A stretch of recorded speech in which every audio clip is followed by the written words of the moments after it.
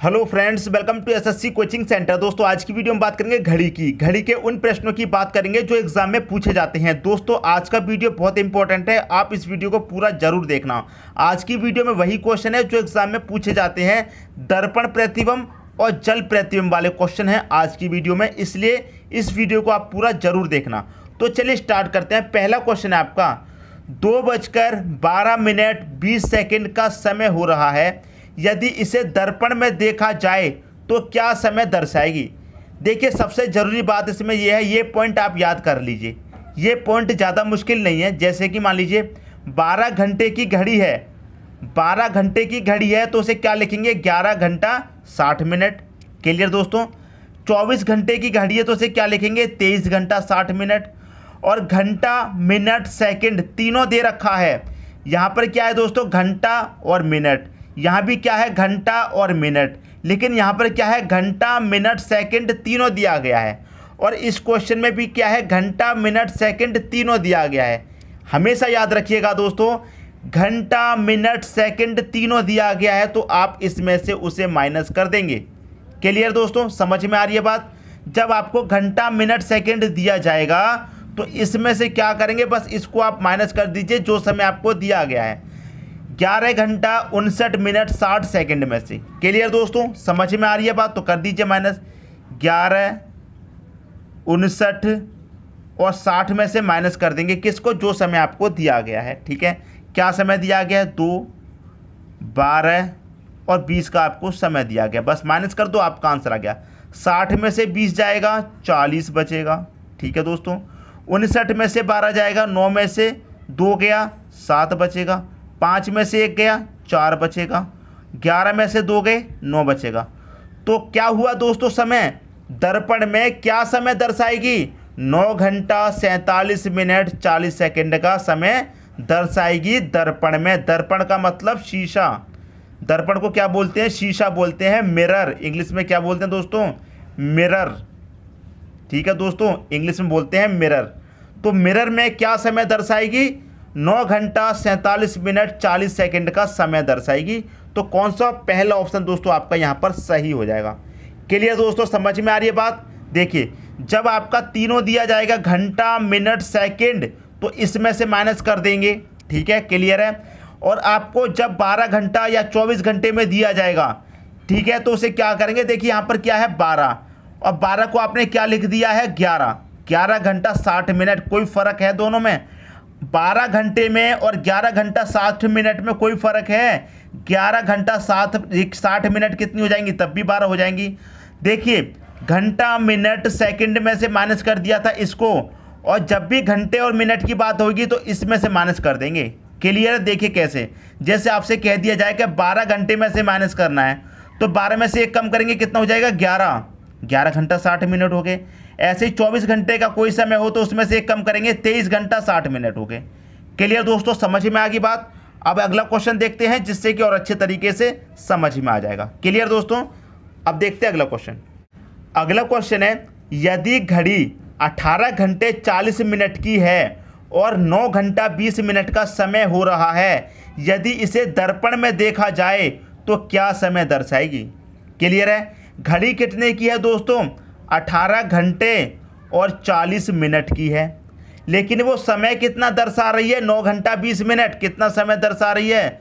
9 घंटा 20 मिनट का समय दर्शा रही है। क्लियर दोस्तों? समझ में आ गई बात? मैंने दोस्तों अभी अभी आपको क्या बताया था? जो घंटे यहाँ पर दे रखे होंगे, उससे एक कम करके माइनस करेंगे हमेशा। ठीक है? यहाँ पर क्या दे रखा है?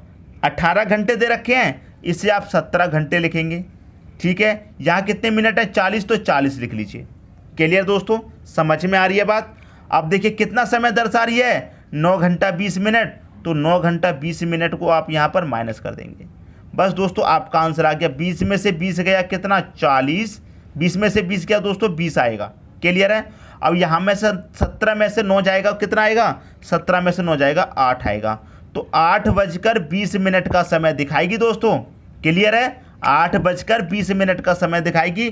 बी ऑप्शन आपका यहाँ पर सही हो जाएगा। क्लियर दोस्तों, दर्पण प्रतिबिंब या फिर जल प्रतिबिंब के जो क्वेश्चन होते हैं, आज आपके अच्छे तरीके से क्लियर हो जाएँगे दोस्तों। लेकिन वीडियो को पूरा अंत तक ज़रूर देखना, ठीक है दोस्तों? जो भी समय दिया जाएगा दोस्तों, हमेशा याद रखना, दर्पण प्रतिबिंब में जो भी समय दिया जाएगा, उससे एक कम कर देंगे।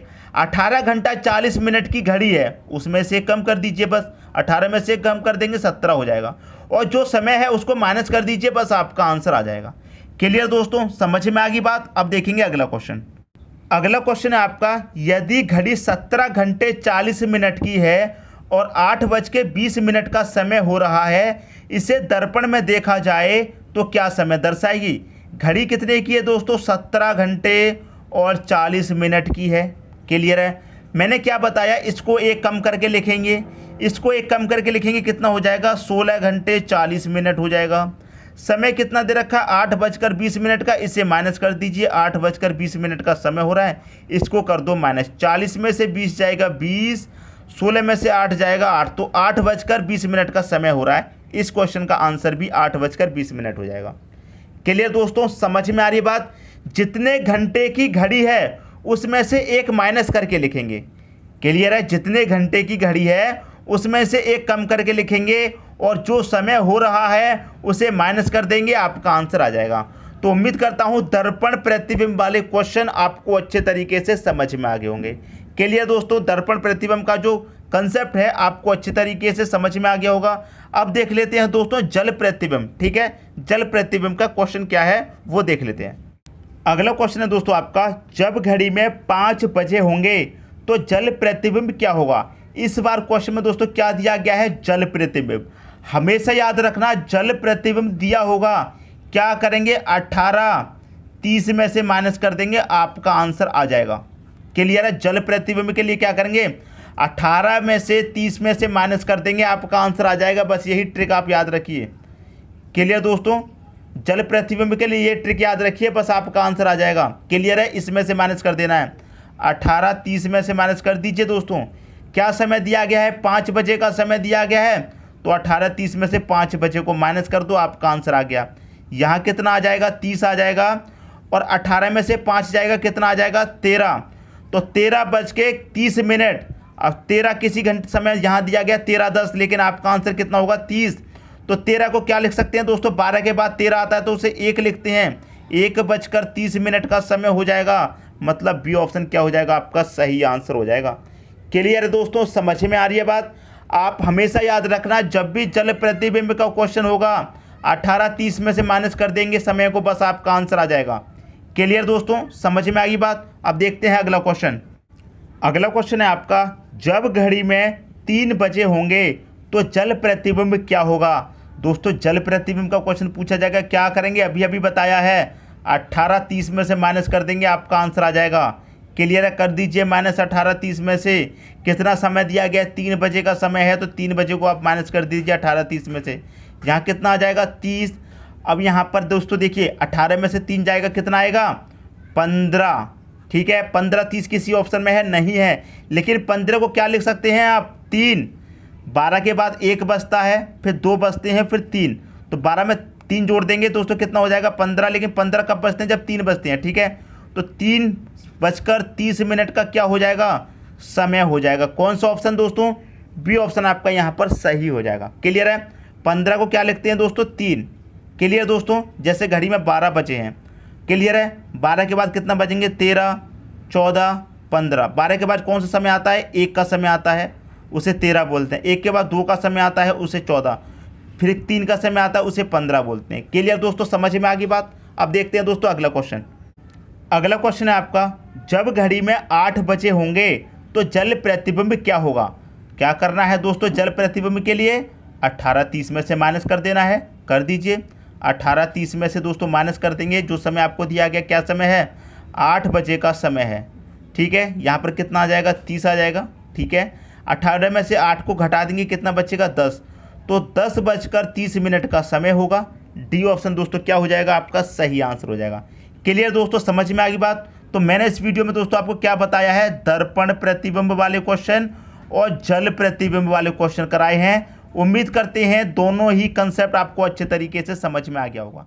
क्लियर दोस्तों, समझ में आ गई बात?